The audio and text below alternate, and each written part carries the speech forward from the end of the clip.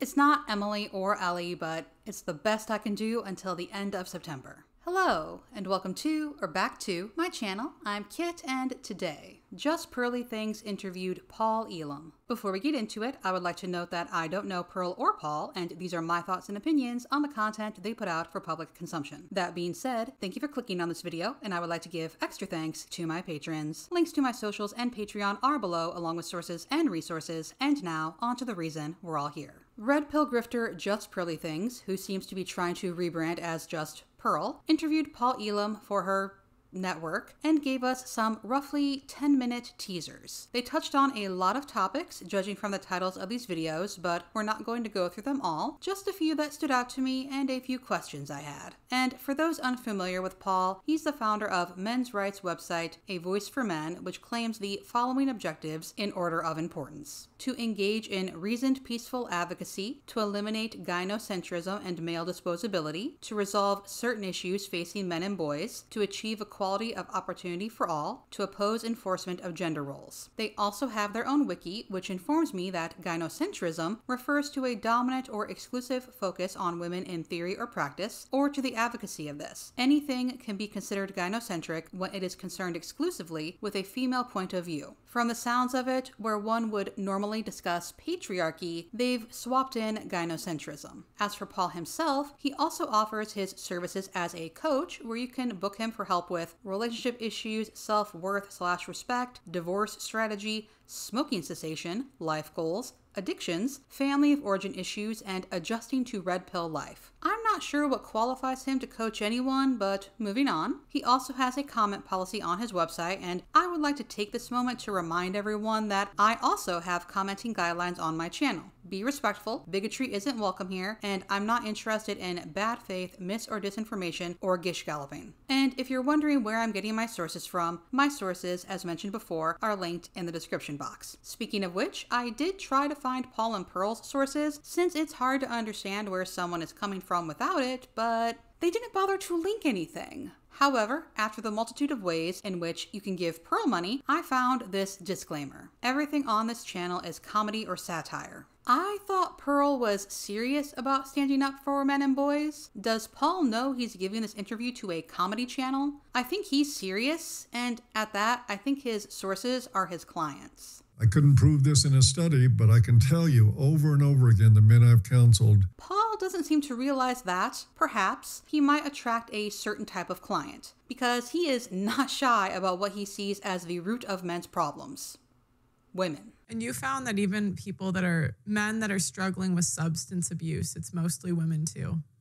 Well, absolutely. Mm-hmm. I mean, a lot of guys drink over bad marriages. Right. They're miserable. They don't know what to do. They have children. If they get a divorce, they're worried about. You know, sometimes the, the wife is abusive, and the, the man won't leave because they won't don't want to leave the children right. with an abusive mother, and they already know the courts are going to give her custody, right. so they stay and they drink or they drug or they engage in other risky behaviors or have affairs. Eventually, they blow up and slap her or something like that. And then that sets problems into motions. Another part of that scenario is guys that are in relationships with women that are psychologically and emotionally very abusive, which, like borderline personalities are, they can be horrendously abusive yeah. people. A guy will take that abuse for years, and then one day he can't take it anymore and he slaps her. That's all the world will ever see is the moment Correct. he slapped her. They won't pay any attention to anything that led up to it. Nothing else matters. He hit a woman. Women drive men to drink, cheat, use drugs, violence, and if you're wondering how men end up in such volatile relationships, that's also because of women. And do you think this starts for men from childhood? Like, where do you think this comes from? This, you know, because we were talking about it earlier. I, this uh, just the simping, like they just want to appease women all of the time. Well, look at your average family or mm-hmm. people from my generation grew up in homes where it was an edict you better make your mother happy. Right. If mother complains to father, you're in trouble. Paul theorizes that men learn to appease women from their mothers, and then they go to school where their teachers are also women, and so they carry that appease women into their adult relationships. I am very curious about how Paul teaches men to build up their self respect because throughout this video, the running theme is that women are the worst, and men's failure is not vetting them thoroughly. You look at the population of women out there, average emotional intelligence is about 14 years old, no matter how old they are in real life, mm-hmm. it, on a good day. Look at the state of women right now. How many, what percentage of women are even marriageable?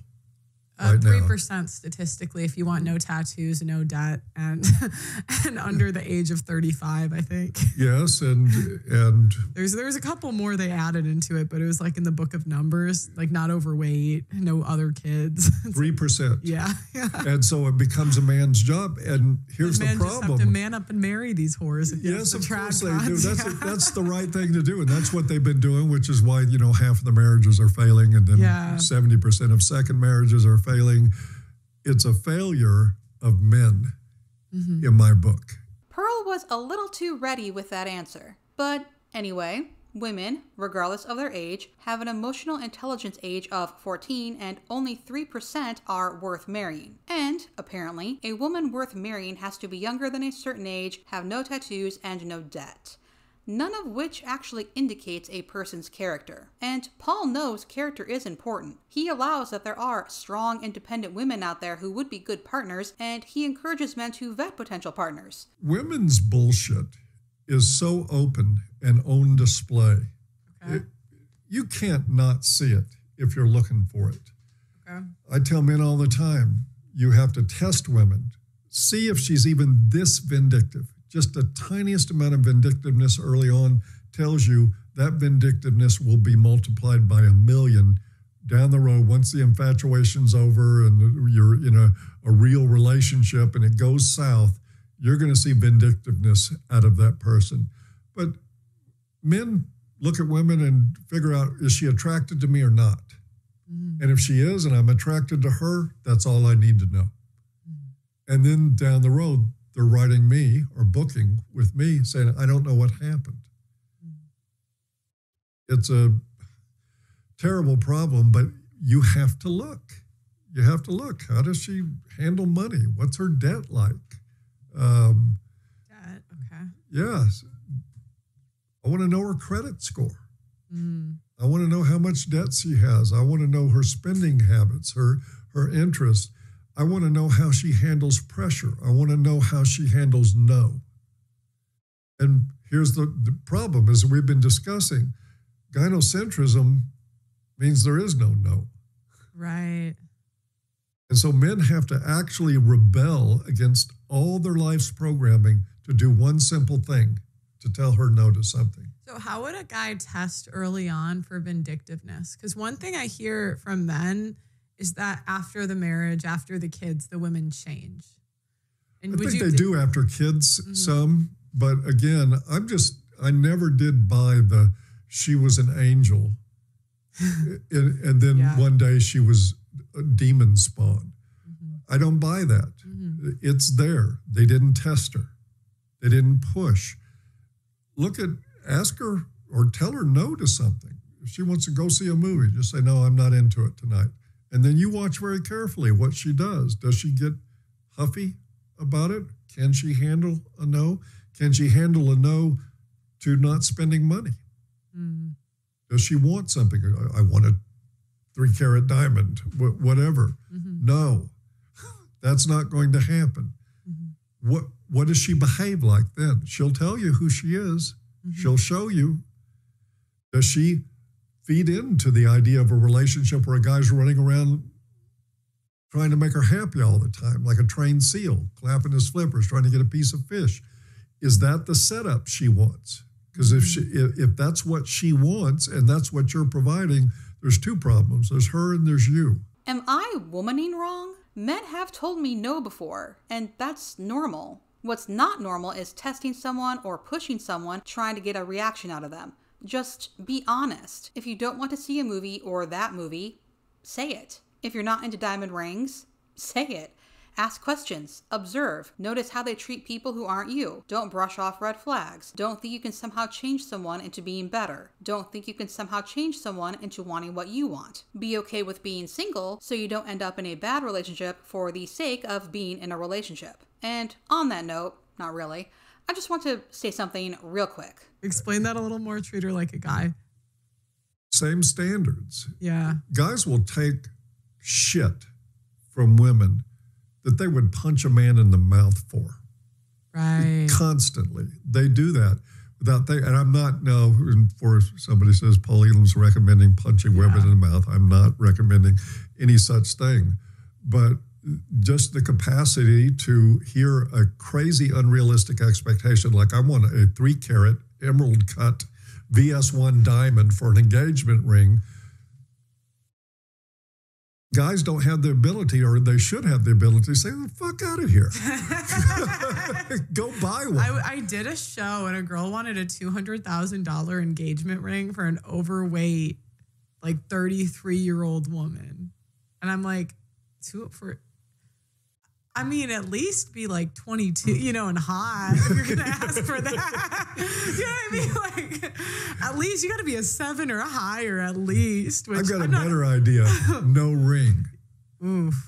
Yeah. no nothing. Yeah. First, maybe, just maybe, men shouldn't be so quick to violence with one another. But this is a very important point. Men and women are people, and you should have enough self respect to have standards, to have boundaries, whether the person in question is a friend or romantic partner. A romantic partner shouldn't get a pass to treat you badly just because. Second, it's so interesting to me that Pearl thinks if a woman is young and hot, she can demand things that would otherwise be unrealistic. I assume this is unintentional, but a lot of things that Pearl says makes me think she believes women are for sale, and the younger and more attractive they are, the higher a price they can ask. And I assume it's also unintentional that she makes men sound shallow. Really, what is this? Matrimony, you know, so they don't call it patrimony. Ma- marriage, matrimony used to signify a time when a woman put aside being a child and became an adult responsible for a family. She had to produce, she had to do all kinds of things. She had to take care of children. She had real responsibilities and real work. And then when we brought romance into it, the object became, oh, you don't have to work. You we just put a cushion under your butt and you can enjoy life that way. I saw two job postings. One was a fireman for 22 an hour and one was a it was like a diversity and inclusion officer for 22 an hour. And I thought like if that's so if you're as a family one of you has to work, it would kind of make sense for her to because I mean what he's going to risk his life every day or you get to go sit in an air conditioned office doing nothing for 8 hours. You can't do that. It's not like working at a farm 100 years ago. Now, how? I'm, I mean, I think you make perfect sense. Yeah. How far would that go with the average woman? oh no, no, they would get so mad.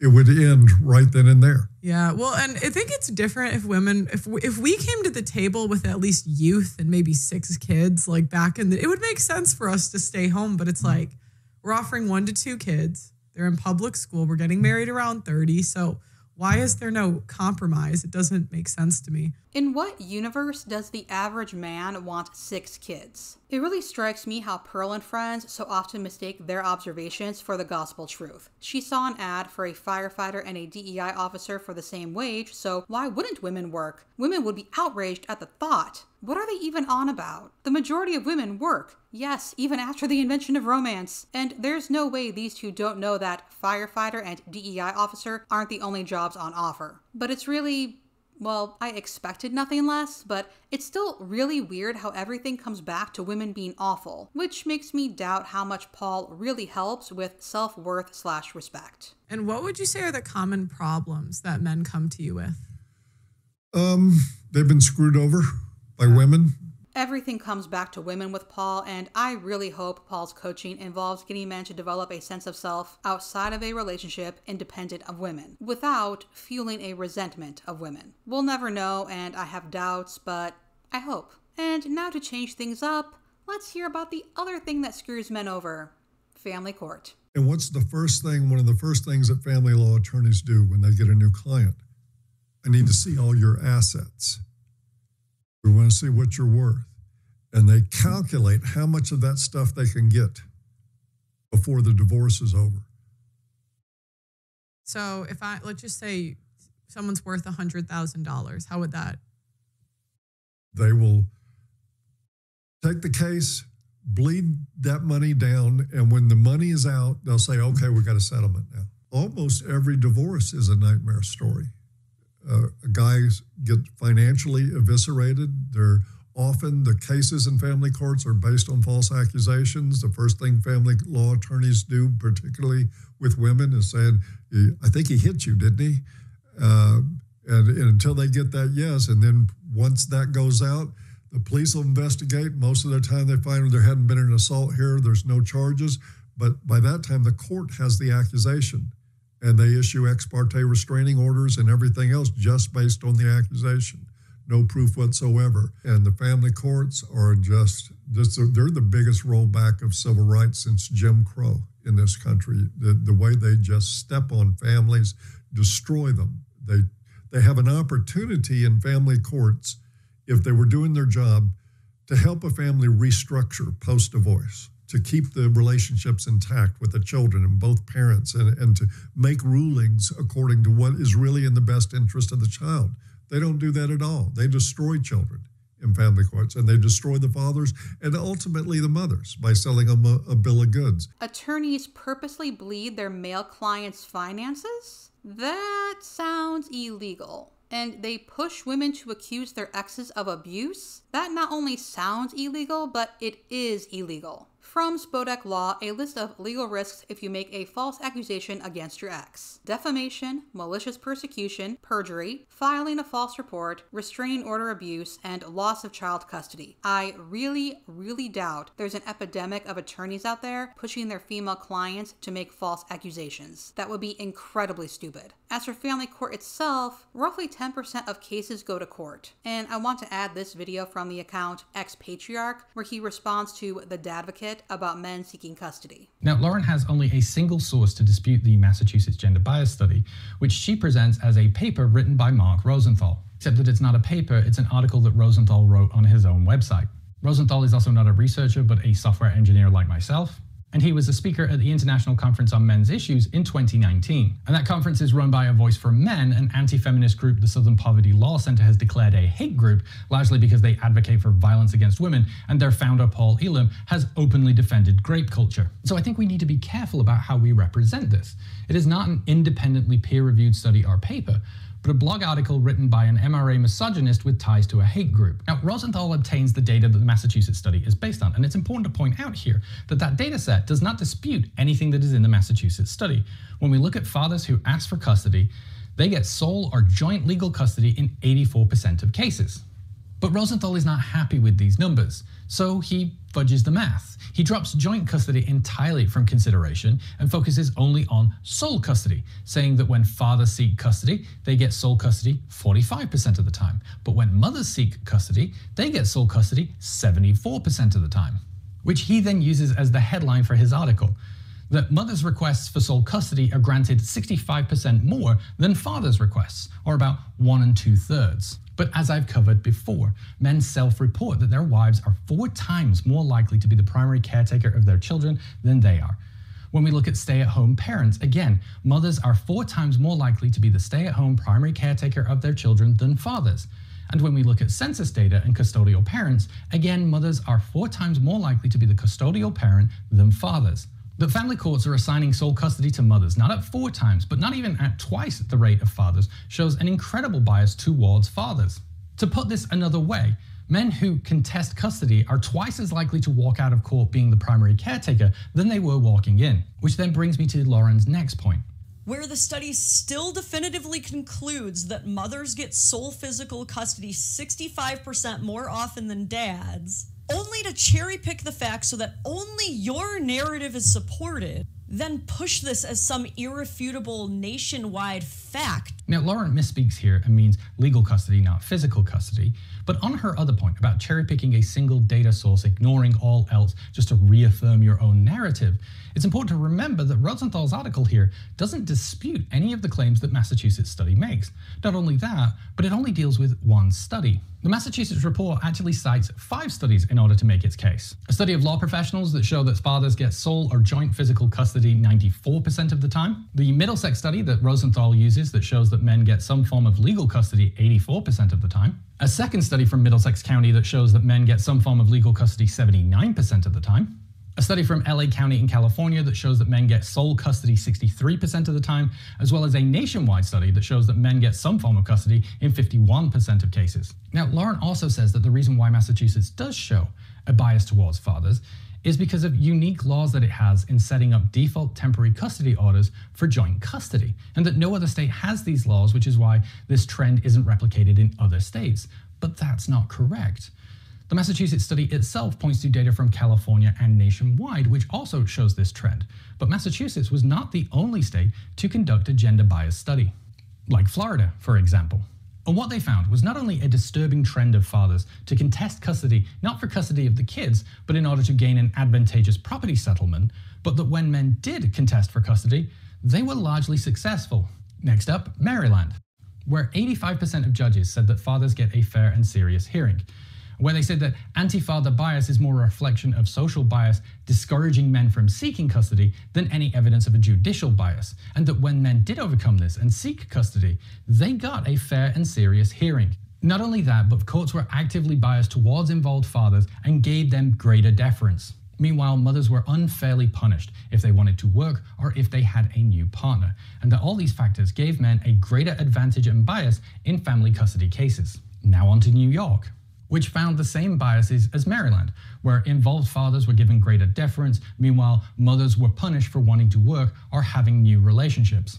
Which is why the Civic Research Institute, when they surveyed all of the literature on child custody, pointed out that overall, over 40 states and numerous district courts had commissioned studies into gender bias, and that these had found unanimously a pervasive bias against mothers. In fact, so pervasive was this bias that when Florida's task force was commissioned to start their study, they skipped the question of if gender bias exists, saying that this has already been well established. And when taken overall, these studies show that gender bias does sometimes affect men, but it is overwhelmingly and disproportionately disadvantaging women. And we can see this lack of bias against men in more recent studies, such as this 2007 study into the 21st District Court in South Carolina. And what they found was that fathers who contested for custody got either sole or joint physical custody almost 60% of the time. Across total cases, that was 31% for fathers, so it almost doubled. But even that 31% is in line with the data from other studies, such as this custody exchange survey of hundreds of law professionals across every state in the country, which showed that on average, fathers get about 35% of custody time. Now, why is that 35% and not 50? Well, I covered that extensively in that video, but in summary, it's because men don't do 50% of the childcare before the custody hearing. And all of this is before we even talk about the numerous studies that show an even greater bias towards fathers when they are accused of violence or when they accuse the mothers of alienation. And there are scores of those studies. Now, Lauren's absolutely correct when she implies that using a single data point from a single study to form a narrative would be reckless. But the reason why we say that fathers who actively seek custody are often likely to get it is because there are multiple studies from multiple states across multiple decades that show this to be true. And yet, here you are, Lauren, admitting that you are struggling to find any studies that show a pervasive bias against fathers and towards mothers. I highly recommend Brent's account. He's a men's advocate that actually advocates for men. Back to Paul. I'm so curious as to what he thinks is the reason for divorce. He mentions most divorces being filed after seven or eight years, which, according to him, is also when men hit their peak earning potential. So I assume he thinks it's just women wanting money, but only 10% of divorces involve alimony, with 7% of the recipients being women, and the top three reasons typically seem to be lack of commitment, infidelity, and too much conflict. Anyway, Enough about divorce. Let's talk about gynocentrism. What is gynocentrism? Good question. It's it, on paper, gynocentrism is just a system of beliefs and attitudes and rules that focus on the well-being of women over the well-being of men. There, we are, our attention and energy is focused on making women happy, keeping them safe, giving them what they want. Um, it goes back oh gosh, at least a thousand years mm-hmm. to the advent of romantic chivalry, which is a big part of modern gynocentrism. You know, gynocentrism itself historically wasn't such a bad thing. If if women weren't alive to have children, right. yeah. we would have been in trouble. And they had to be able to protect children and nurture them and get them to where they were self sufficient. So there was a certain amount of gynocentrism was absolutely uh, an imperative for the human species. But once romantic chivalry hit the mainstream throughout Europe and then eventually in the West, it was more than keeping women alive.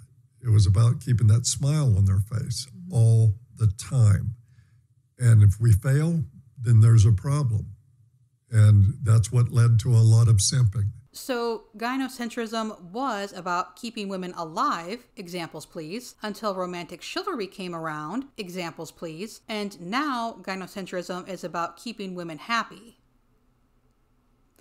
And again, I would like some examples of these beliefs, attitudes, and rules that are about making women happy. And at that, at least we get one. Anybody should be able to look at that image of a guy down on his knees bearing a diamond saying, This is how I want our life to be, as totally unsustainable. Right. But it doesn't even enter our minds. We're just like, oh no, she's smiling. Because it's been programmed into us for like a thousand years. Exactly. Paul is reading too much into the gesture. Kneeling when proposing doesn't mean supplicating yourself to that person for the rest of your lives. It's a gesture, not a blood oath. And that seems to be what gynocentrism is, at least as Paul describes it. Gestures that make women smile, but that don't actually do anything for women. There is, however, one thing I agree with Paul on. And I think this goes back to TradCon men really getting things confused. They, they want children, not women. They want mm. somebody to take care of and to, and I think in their mind somebody they can control. No arguments there. Paul also said that tradcons infantilize women by suggesting they can't accomplish anything, and I also agree with that. And that's where our agreements end. As I mentioned before, Paul and Pearl seem to confuse reality with fiction and take Paul's clients as peer reviewed research, and their conclusions feel half formed. Women have an easy life because ad campaigns in the 1950s showed women shopping or at the hair salon. Gynocentrism is a thing because there are paintings showing a knight kneeling before a lady, therefore, all women were revered. There are stories of courtly love, therefore, that is what romance is. Their conclusions are shallow, lacking insight or thought into how life actually is and was for the majority of people, currently and historically. If they understand nuance, they don't practice it, and they don't encourage thinking. They just make things as simple and palatable as possible for their intended audience. And, well, it works, but is it going to change anything? How does painting women as shallow and emotionally immature yet malicious creatures do anything for men? What is the purpose of this content? I'm going to skip my usual outro and just remind everyone that I have resources below for men's groups, non TradCon Instagram accounts, reading lists, and so on. And I don't think I've mentioned this in a video, but every quarter I post on the community tab asking for nonprofit recommendations to donate to, and then we vote to see where the AdSense funds for that quarter goes. You can see past donations in the description box as well, and Q3 ends in about five weeks if you're watching this the day it goes live. And good night, or morning, or afternoon,